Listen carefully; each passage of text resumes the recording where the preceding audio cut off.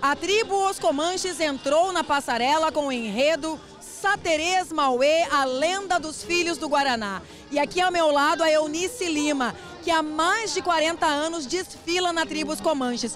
Eunice, fala um pouco, é quase uma relação de amor e vida e história com a Comanches. Com certeza, amor à camiseta. Amor à camiseta.